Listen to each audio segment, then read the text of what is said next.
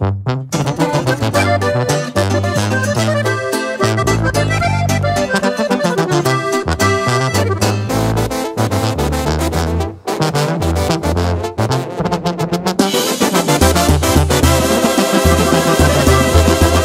destino puede cambiarte la vida de bajada o de subida, como sea puede llegar. Eso fue lo que le pasó a un camarada. De la noche a la mañana la suerte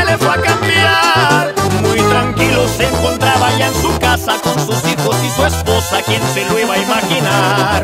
De repente se oye que tocan la puerta, pregunta y nadie contesta. Comienzan a disparar, en su cara le matan a sus dos hijos, a su esposa, entre dos tipos la comienzan a golpear. Preguntaron cosas que ellos no sabían, los matones se veían. Murmuraron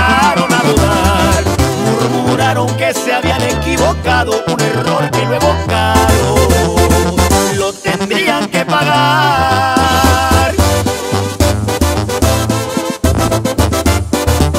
Y esto es Edwin Luna y la Tracalosa de Monterrey.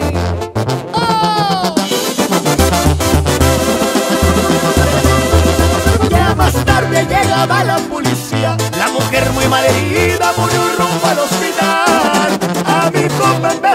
Cuestionarlo, estaba tan impactado que solo pudo llorar.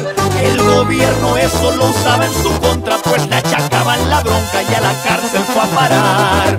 Decían que el llanto era de arrepentimiento, que era asesino violento y lo tenían que juzgar. El destino pronto le dio la revancha de los matones, las caras